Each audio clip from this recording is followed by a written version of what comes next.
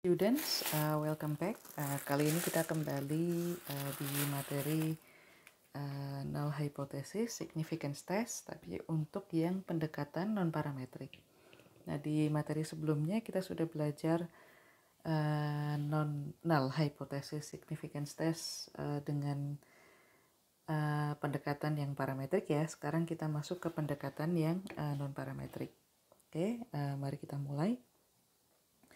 Jadi yang akan kita bahas kali ini of course ya introduction to non-parametric metric methods, lalu beberapa non-parametric statistical test seperti sign test, Wilcoxon uh, sign rank test, lalu Mann-Whitney U test atau Wilcoxon rank, rank sum test dan uh, Kraskell-Wallis test. Oke. Okay?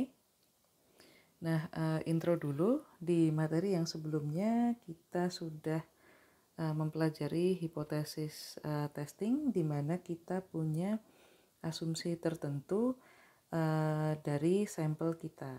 Asumsinya misalnya seperti kita asumsikan populasinya mengikuti distribusi normal seperti Z dan T statistik atau kita asumsikan populasinya itu memiliki probability distribution tertentu. Jadi seperti misalnya kita asumsikan dia mengikuti F distribution atau chi square distribution. Tapi yang perlu digarisbawahi adalah sebelumnya kita punya asumsi tertentu tentang uh, populasi kita. Nah, sebagai contoh ya, ketika kita menggunakan uh, Z statistik, maka kita punya beberapa parametric assumption seperti misalnya dia normally distributed, lalu minnya adalah 0, standar deviasinya adalah 1. Nah, uh, di sini uh, yang dimaksud min dan standar deviasi ini uh, untuk parameter populasinya ya. Nah, itu contoh dari uh, ketika kita menggunakan pendekatan parametrik. Kita punya asumsi tertentu terkait dengan populasinya. Oke, uh, nah ini uh, contoh uh, dari distribusi probabilitas uh, di dunia nyata. Jadi uh, yang biru ini ini adalah data yang sebenarnya, lalu yang merah ini adalah yang uh, theoretical atau yang kita assume. Jadi di data yang biru kita assume dia mengikuti distribusi normal, yaitu yang warna merah ini. Oke. Nah, uh, yang sudah kita bahas itu yang ada asumsi tadi yaitu kita sebut sebagai parametric test. Nah, parametric test are superior when the assumptions are met. Jadi kalau asumsinya itu memang uh, terpenuhi ya, nah dia uh, superior. Oke. Okay uh, normality or other distributional assumption is difficult to verify when uh, the data is small in sample size or the data is in ordinal scale. Nah, jadi kalau Anda punya data dengan sampel size yang kecil atau data yang uh, dia itu ordinal, ordinal itu artinya dia diurutkan ya dari yang kecil sampai yang kebesar misalnya. Nah, itu akan sulit untuk memenuhi atau memverifikasi asumsi uh, parametrik. Oke, nah di dalam keadaan seperti itu kita bisa melakukan hipotesis testing menggunakan pendekatan non parametrik. Nah, jadi kenapa kita menggunakan non parametrik? Non parametrik test itu bisa digunakan uh, untuk order relationship uh, dan juga uh, based on uh, ranks. Nah, jadi tadi ya data yang dia itu ordinal atau diurutkan Nah, itu kita bisa melakukan hipotesis tes menggunakan pendekatan non-parametric. Nah, non-parametric test do not use actual values of the variable dan non-parametric test do not require population parameters. Jadi non-parametric test itu dia distribution free test. Oke, okay? jadi tidak ada distribusi probability tertentu. Nah, uh, ada beberapa jenis non parametric test, eh sorry non parametric test yang akan kita uh, diskusikan di sini. Yang pertama adalah for single or two dependent sample, kita punya sign test, kita punya juga Wilcoxon sign rank test. Lalu untuk two dependent two independent sample, kita punya mm, Mann-Whitney U test atau Wilcoxon rank sum test. Lalu juga tes ketika ke lebih dari dua sampel. Nah ini nanti kita bahas lebih lanjut ya tentang K ini nah, atau juga di sini Kruskal-Wallis test. Oke. Okay. Uh, nah pertama mari kita bahas sign test. Jadi misalnya Anda punya sampel dengan size n. Nah, sampel Anda itu punya median m. Nah, maka di sini Anda tahu bahwa probabilitas x lebih kecil sama dengan m itu adalah setengah dan itu sama dengan probabilitas x lebih besar daripada m. Ya kan? Karena m itu ada di tengah, maka x lebih kecil sama dengan m probabilitasnya 0,5, X lebih besar dari M, probabilitasnya juga 0,5. Nah, suppose that we want to know whether the median is higher than certain value, let's say uh, M0. Nah, misalnya kita ingin tahu apakah si M ini dia lebih besar daripada M0 atau uh, MO misalnya kita sebut seperti itu. Nah, sebagai contoh kita punya hipotesis handalnya adalah M lebih kecil sama dengan MO, HA-nya adalah M lebih besar dari MO. Nah, e, nanti kita melihatnya itu adalah untuk setiap elemen di data kita, nanti kita berikan tanda, apakah dia tandanya positif atau negatif, tergantung e, hubungannya dengan e, MO. Jadi kalau lebih kecil dari MO, ya berarti negatif. Kalau lebih besar dari MO berarti positif. Nah, nanti kita hitung, kita akan punya K uh, untuk meng menghitung sampel yang lebih besar daripada uh, MO. Oke. Okay? Nah, jadi uh, ini uh, other alternate hypothesisnya. Nah, ini untuk menentukan rejection region kita pakai uh, binomial ya. Uh, Nah, jadi ini ya kita sudah belajar sebelumnya null dan alternate hipotesisnya dan ini uh, yang menggunakan binomial ini adalah untuk menentukan rejection region. Oke, nanti kita ada contohnya, kita bisa hitung sama-sama. Nah, uh, in practice finding n uh, for given rejection region can be computationally difficult. Uh, that's why kita uh, lebih sering menggunakan p-value. Oke. Okay. Nah, uh, sebagai contoh, uh, di misalnya kita punya Hanal di mana M lebih kecil sama dengan MO, nah maka binomial rejection region can be restated on a p-value form uh, probability n lebih besar sama dengan k. Nah, di mana di sini kita hitung menggunakan rumus uh, binomial ya. Uh, dan kita lihat apakah dia lebih kecil daripada alfa. Oke, uh, ingat ya bahwa kita akan mereject Hanal ketika p-value lebih kecil daripada alpha. Oke. Nah, ini ada contohnya. Uh, misalnya kita punya data berikut yang saya uh, beri warna kuning itu. Nah, you believe that the median is 22.5. Kita kita punya alpha 10%. Nah, maka uh, mari kita lakukan uji hipotesis. Nah, kita punya Hanal M kurang dari sama dengan 22 setengah, HA M lebih dari 22 setengah. Nah, um, p-value-nya adalah probability N plus lebih besar sama dengan K. Lalu ini adalah rumus binomialnya. Kita lihat apakah dia akan lebih kecil daripada alfa. Oke, nah kita tahu tadi MO-nya adalah 22 setengah. Nah, maka sekarang kita lihat berdasarkan data kita ini, uh, sorry, berdasarkan data kita ini mana yang lebih kecil, mana yang lebih besar daripada dua-dua setengah. Nah kita lihat satu-satu.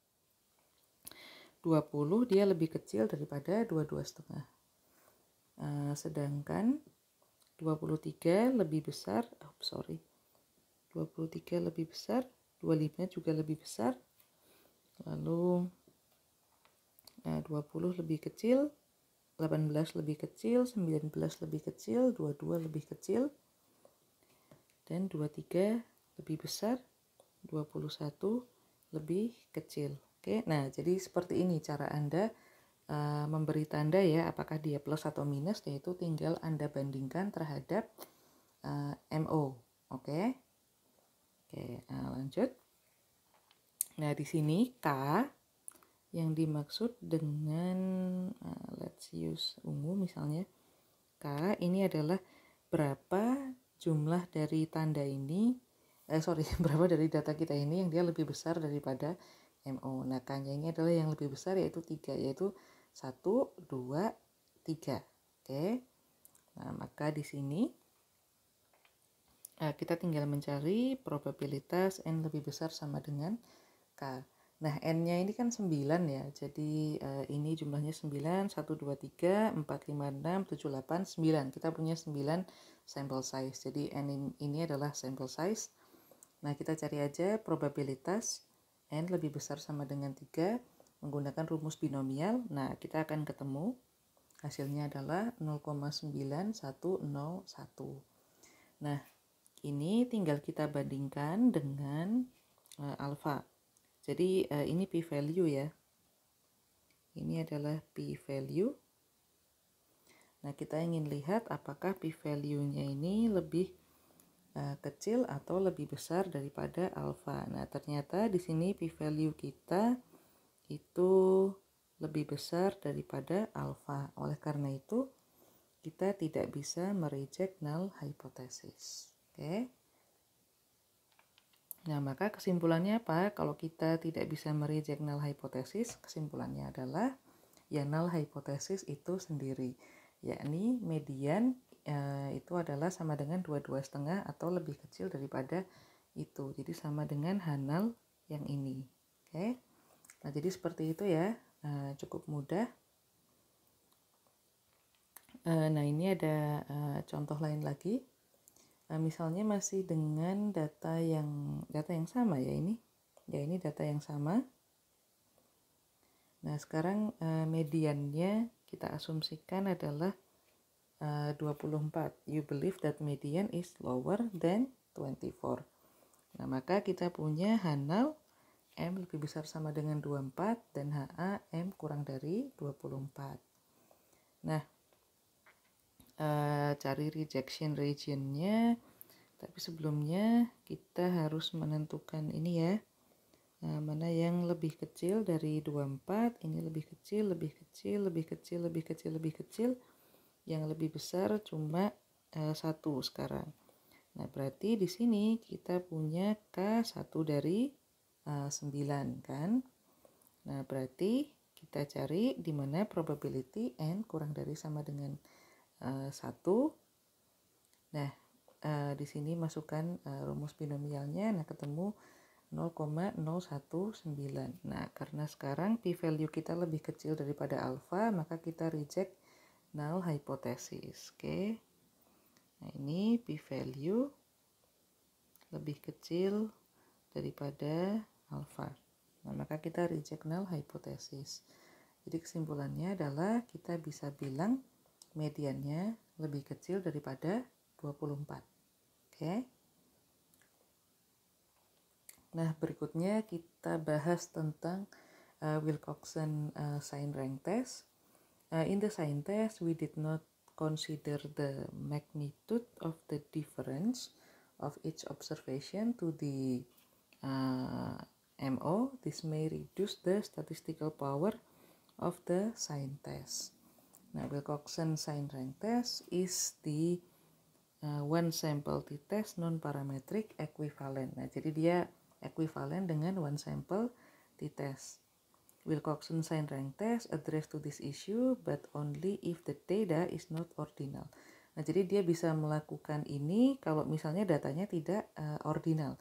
Jadi data kita ini tadi dia tidak ordinal ya sebenarnya karena apa? Karena dia tidak diurutkan dari yang terkecil ke yang terbesar, oke? Okay? Atau yang terbesar ke yang terkecil ordinal itu maksudnya berurutan ya kan datanya nggak diurutkan jadi tidak ordinal nah eh, hipotesisnya misalnya Hanal M lebih kecil sama dengan eh, MO maka HA M lebih besar daripada MO atau bisa juga eh,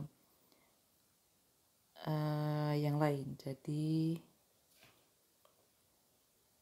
kita juga bisa menggunakan model uh, hipotesis yang lain. Oke, okay? nah, kalau alternate hipotesisnya seperti ini, nah Anda bisa susun sendiri ya uh, null hipotesisnya seperti apa. Nah, cara menentukan rejection regionnya kita pakai uh, Wilcoxon uh, sign rank test. Nah, di sini kita punya W lebih uh, misalnya kalau HA-nya M lebih besar daripada MO, maka di sini W lebih besar sama dengan C, di mana probabilitas W lebih besar sama dengan C, sama dengan uh, alfa, dan seterusnya uh, ke sini. Oke. Okay? Nah, uh, nilai C ini, ini kita temukan di tabel. Nah, supaya kita nggak bingung ya dengan rumus-rumus ini, mari kita langsung masuk ke uh, contoh. Oke. Okay. Oh, by the way, kalau uh, menggunakan Wilcoxon sign rank test ini, kita harus melihat ke tabel Wilcoxon sign uh, rank test. Oke. Okay. Uh, here are the cumulative probability table for Wilcoxon sign rank test. Uh, nah ini Anda bisa ya di internet banyak ya tabel ini atau Anda bisa lihat di bukunya Ramachandran. Nah ini uh, contoh. Suppose that you have the data of players weight of two basketball uh, squad. Jadi ada dua uh, tim ya. Nah, ini adalah beratnya. Uh, we believe that the median is higher than 47. Test this hypothesis using alpha 10%. Nah, jadi sekarang kita punya Hanal M lebih kecil sama dengan 57,5, HA M lebih besar dari 57,5. Nah, step pertama adalah find the absolute distance and the sign of each sample with uh, MO. Nah, jadi di sini kita uh, seperti tadi ya, kita temukan dulu uh, sorry signnya. Jadi apakah dia lebih besar atau lebih kecil dari MO? Uh, lebih besar atau lebih kecil dari MO.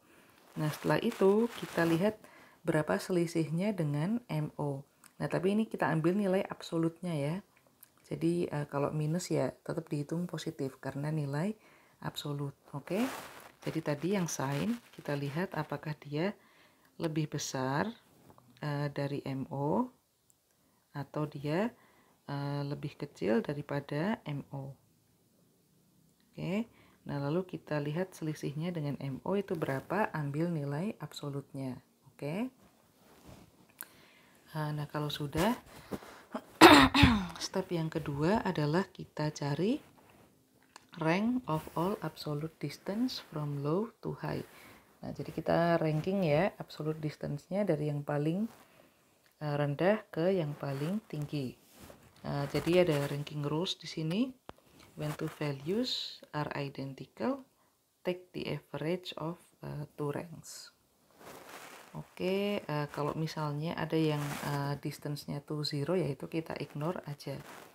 Nah, uh, sebagai contoh, 12 setengah ini kan muncul dua kali ya. Nah, uh, dia ada di ranking 9 dan ranking 10, maka kita ambil average-nya yaitu 9 setengah.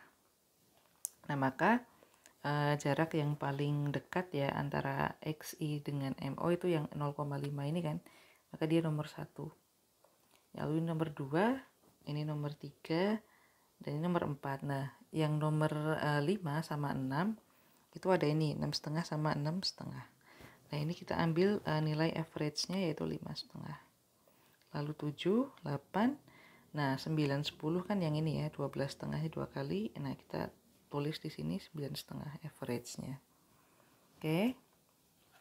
Nah uh, setelah itu yang bisa kita lakukan adalah kita total uh, rank score dari positive sign. Nah, maka di sini yang positif kan 1, 2, 3, 4, 5. Nah, jadi yang warna kuning ini, ini kita jumlah. Nah, setelah kita jumlah, kita akan ketemu W-nya. Jadi W-nya itu adalah 8 tambah 7 tambah 4 tambah 9 setengah tambah 9 setengah yaitu 38. Oke. Nah, kalau sudah ya, ini tadi 38, ini tadi Hanal kita, ini HA kita. Nah, rejection regionnya itu kalau probabilitasnya W lebih besar sama dengan C. Eh, sorry, lebih besar sama dengan C itu sama dengan uh, alpha. Nah, kita melihat ke Wilcoxon table untuk N sama dengan 10 uh, dan alpha sama dengan 0,1, C-nya itu adalah 40. Oke. Nah, Uh, jadi di sini karena kita punya uh, nah jadi di sini uh, kita punya W-nya 38 kan Jadi 38 uh, ternyata dia tidak lebih besar sama dengan 40. Nah, maka di sini hasilnya adalah kita nggak bisa mereject null hypothesis. Oke. Okay? Not reject uh, null. Karena ini ya, uh, untuk mereject null kita butuh ini. Tapi ternyata uh, tidak. Karena W-nya adalah 38 dan C-nya adalah uh, 40. Oke. Okay? Oke, uh, berikutnya adalah Mann-Whitney test. Nah, if you have uh, two samples, you may compare whether both median is statistically identical or not. Nah, Mann-Whitney U-test is another name of Wilcoxon rank sum test. Nah, ini seperti ketika kita melakukan two sample di tes ya, kalau di parametric uh, approach Nah, jadi di sini handalnya adalah MA sama dengan MP, H alternatifnya adalah MA tidak sama dengan MP atau kita bisa lihat um, alternatif hipotesis yang lain. Oke, nah kalau alternatif alternatif hipotesisnya seperti ini Anda bisa susun sendiri ya uh, seperti apa. Nah, di sini uh, kita cari W lagi dan kita bandingkan dengan C. Oke. Nah, sekarang kita langsung ke example ya, uh, biar uh, lebih uh, mudah dipahami. Nah, jadi ini ada contoh. Uh, contoh kita punya data consumer spending uh, into stores of a same brand. Jadi di dua toko ya kita punya data consumer spending. Satuannya dalam ribuan rupiah. Nah, jadi uh, di store 1 nah, datanya seperti ini di store 2 datanya seperti ini. Nah, uh, using Wilcoxon rank sum test with alpha 0.05 test the null hypothesis that two medians are the same against the alternative hypothesis that population median is different. Jadi kita punya Hanal M1 sama dengan M2 dan HA M1 tidak sama dengan M2. Nah, bagaimana cara kita menyelesaikan soal ini? Oke, uh, yang pertama combine both data into one row but uh, keep intact of the resource of uh, each uh, data. Nah, jadi yang kita lakukan adalah uh, data spendingnya itu kita taruh di satu baris yang sama ya. Nah, tapi uh, di sini kita uh, tetap membedakan ini dari toko yang mana. Jadi misalnya yang ini dari toko pertama, sedangkan yang ini dari toko kedua.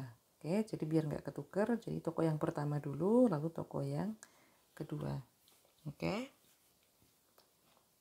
Nah, itu first step. Nah, second step adalah add ranks uh, out of this pool uh, data. Jadi uh, ranking rules-nya di sini adalah when two values are identical seperti tadi ya, take average. Lalu kalau misalnya uh, XI dikurangi MO sama dengan 0 itu kita uh, ignore.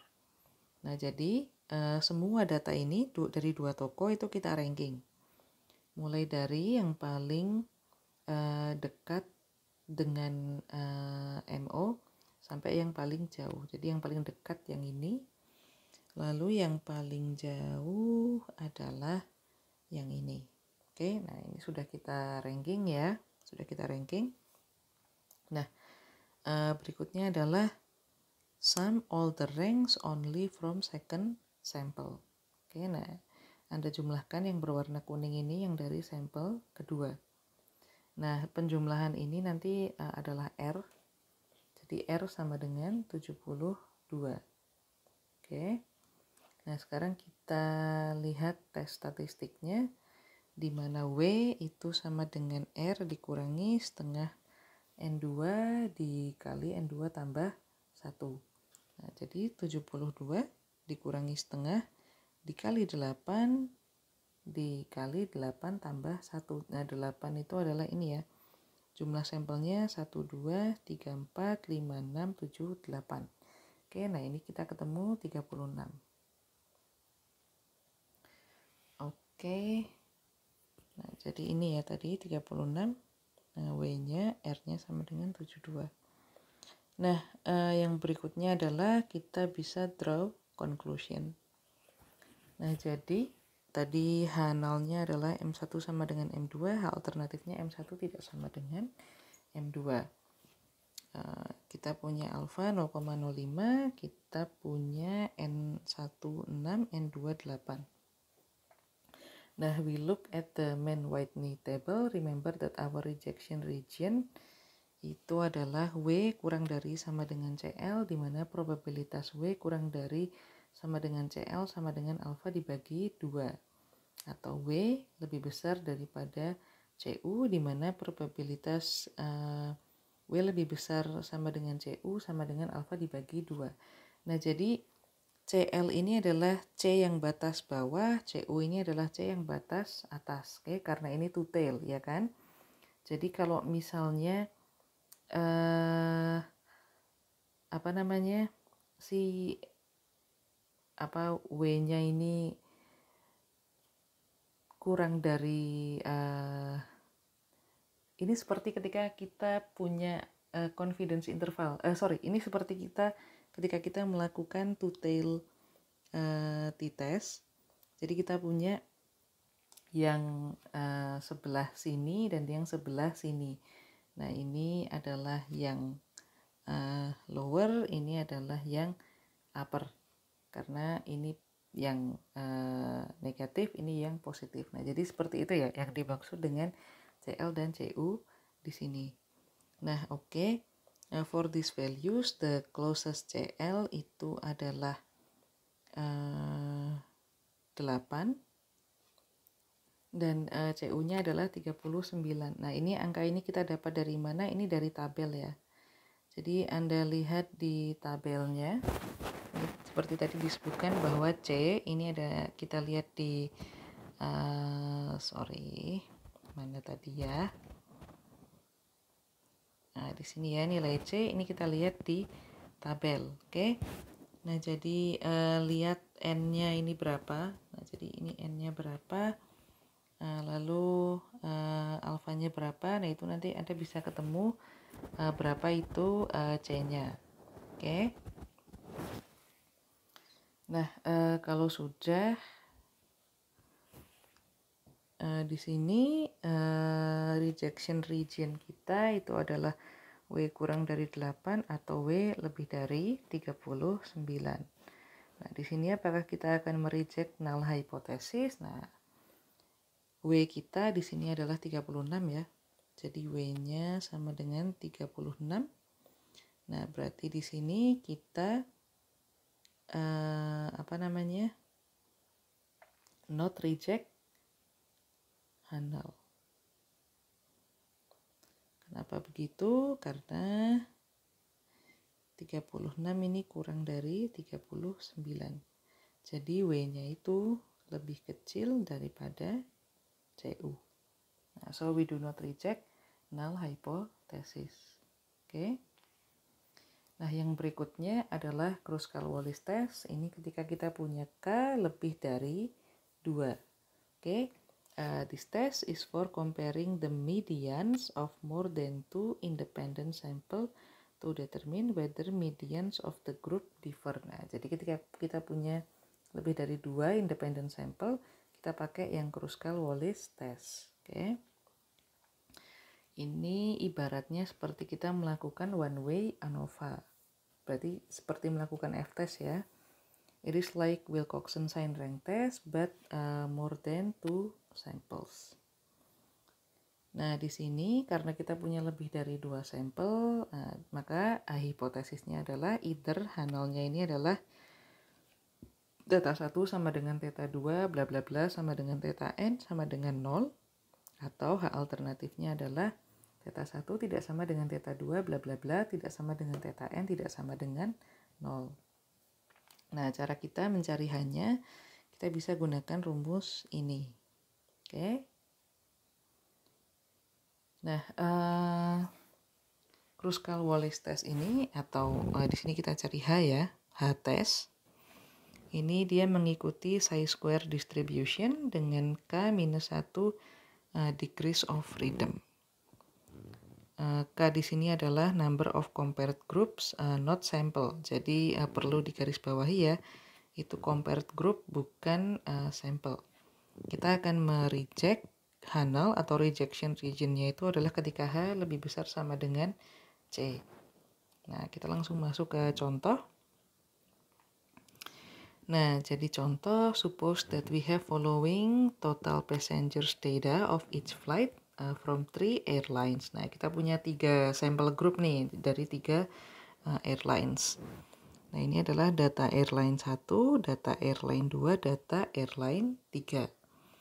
Nah, kita diminta untuk melihat apakah antara ketiga airline ini uh, mereka berbeda. Oke, okay, mediannya berbeda. Kita punya alfa 0,05. Nah, jadi seperti tadi ya, step 1 combine all data, tapi jangan lupa uh, dikasih uh, tanda. Jadi yang ini data airline 1, yang ini data airline 2, lalu yang ini adalah data airline 3. Oke. Nah, habis itu yang kita lakukan berikutnya adalah take the rank. Nah, ini kita ranking di sini. Ini yang paling dekat uh, sebentar. Nah, ini kita rank di sini. Nah, rank di sini kalau tadi kita lihat mana yang paling dekat dengan median tertentu, sekarang kita urutkan mana yang paling uh, kecil. Jadi misalnya di sini yang paling kecil adalah 103, lalu kita urutkan berikutnya 104, berikutnya lagi 107 sampai yang paling besar di sini adalah ini ya. Nah, 18 ini ya. 204. Eh, nah, ini diurutkan saja semua observasinya dari yang terkecil ke yang terbesar. Nah, jangan lupa ini data dari uh, airline 1, airline 2, dan airline 3. Oke. Nah, uh, kalau sudah, step yang berikutnya adalah make a of each group. Nah, jadi kita jumlahkan uh, rank dari setiap grup. Jadi uh, untuk yang airline 1 ya berarti kita jumlahkan ini. Untuk yang airline 2 berarti kita jumlahkan yang ini. Untuk yang airline 3 berarti kita jumlahkan yang ini.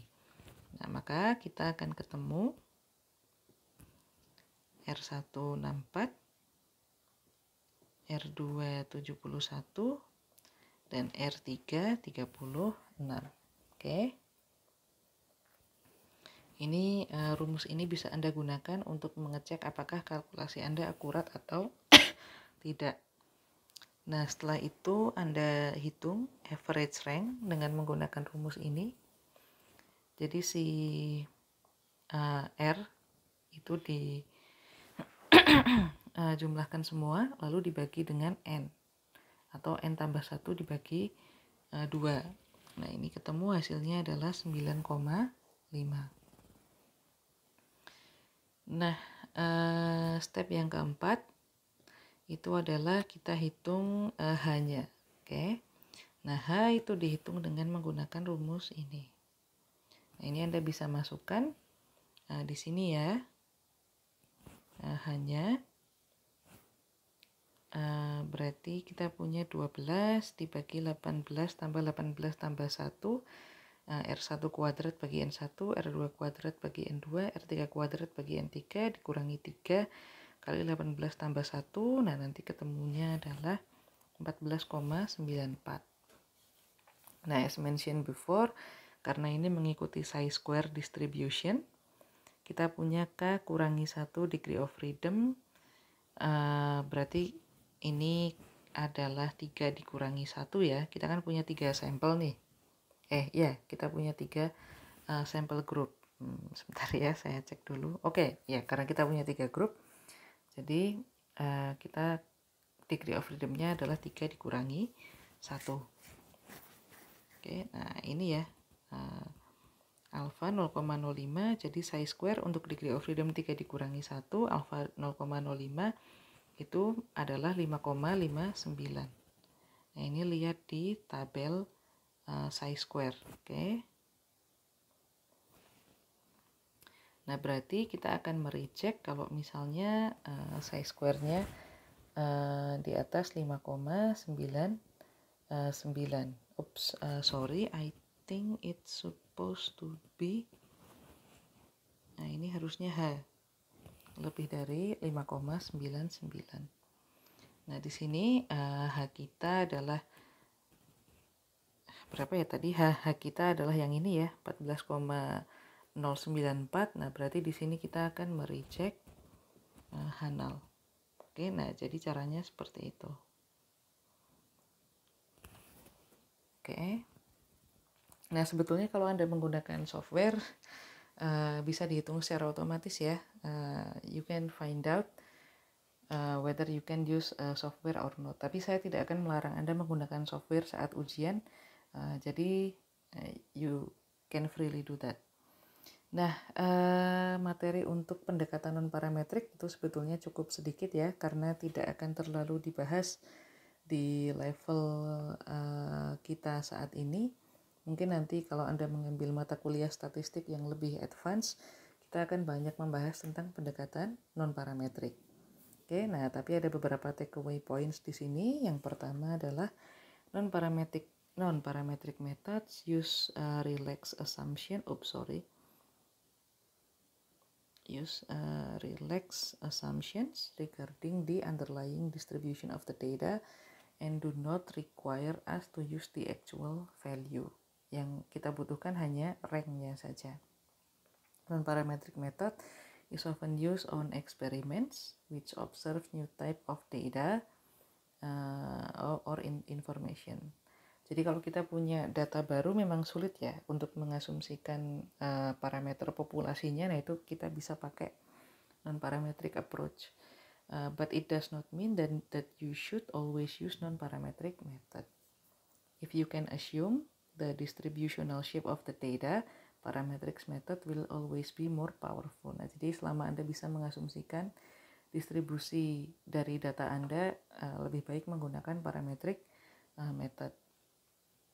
Oke, okay, many other non-parametric method exist. Nah, jadi ada banyak metode lain ya selain yang kita sebutkan di sini dan biasanya dia punya ekuivalennya di parametric method. Seperti tadi ya, kita punya uh, si uh, Kruskal-Wallis ekuivalen dengan ANOVA, lalu sebelumnya ekuivalen dengan T statistik dan seterusnya. Oke. Okay? Oke, okay, uh, eh, itu saja materi untuk uh, bab ini. Sampai jumpa di pertemuan yang berikutnya.